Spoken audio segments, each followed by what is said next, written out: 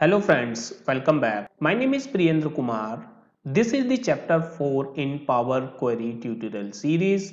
In this video, you will learn how we can create the pivot table using this data. So here in this data, we have zone, employee name, date and different five products and their number of sales. Here you can see the total for the employee for the dates is available here and the total of the zone also available here. You can see here there are multiple blanks available. If we will create the pivot table then it will show the blanks if we will put zone in filters.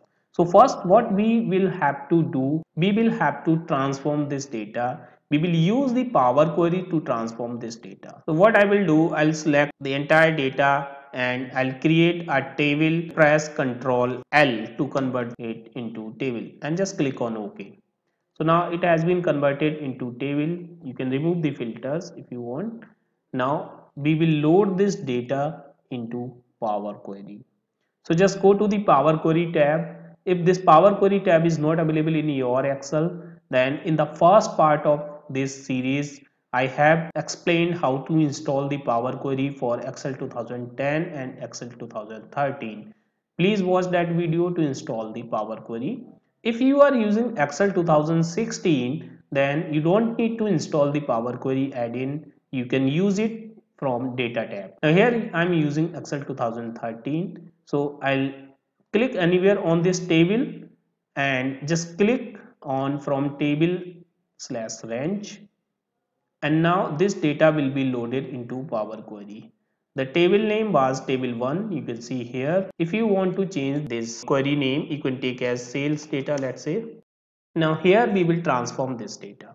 First of all what I will do I'll remove the blanks from the date. So you can see the blanks are coming in total.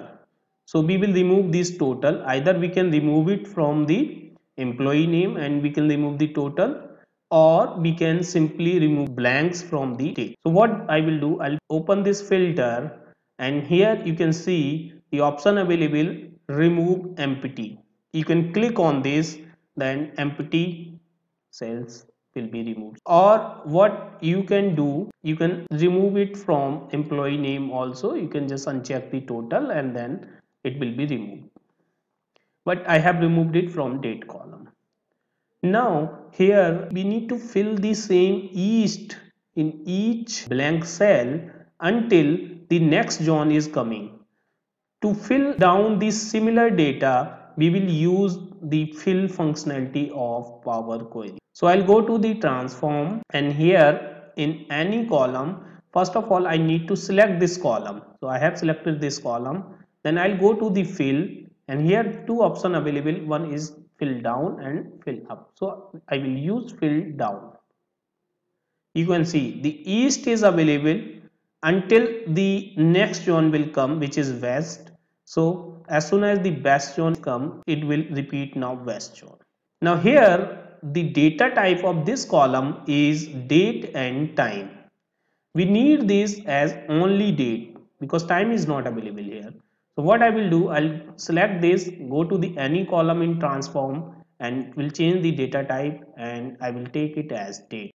Now here, if you want to take the month also, you can simply select this, make a duplicate column of this. So go to the add column, make a duplicate of this and now select this, go to the date and then month and take the name of month. So you can see another column is added for name of month. If you want to take the year also go to the year take the year. So year column is also added. Now we don't need this support column. We can remove this column. So we will go to the home and remove this column. And now we can move this column after the date. To move the column from here to here either you can simply pick this column and just move here or you can use the move option. To move the column can go to the transform use this move and we want to move it to the left side. So it will be moved once again or you can move directly to the beginning to the end. Let's say I want to move it to the beginning. So here is available on the first. Now what we will do we will unpivot these product names column. To unpivot this either we can select these column but in future more column can be added here the product name. So what we will do we will select these columns. And apart from these column whatever the columns are available here we will unpivot those columns so we will go to the transform and then unpivot column. Here we will select unpivot other columns. You can see here this is the product name available here. So we will rename it as product name and for value we will rename it sales. Now we will go to the home and will close and load to. Here we will choose only create connection. Click on load. So the sales data connection is created. Now add a new worksheet here and go to the insert pivot table. Here just choose this option which is use an external data source. Click on this. Click on choose connection. Now here select this sales data query. Click on open. Click on ok. So this pivot table is created. Now you can close this workbook queries window. Now here you can see the multiple fields are available.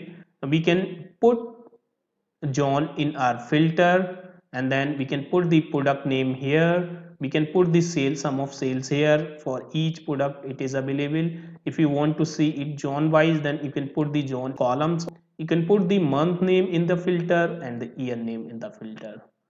And you can change the design whatever you want to take. Go to the view remove the grid lines. So we have created a summarized pivot table using this data if you want to see the data for let's say Jan month so it is for the Jan month. So that is how you can create a report using the power query. You can transform your data as per your requirement and then you can load it to the pivot table. I hope you have enjoyed this video. Thank you so much for watching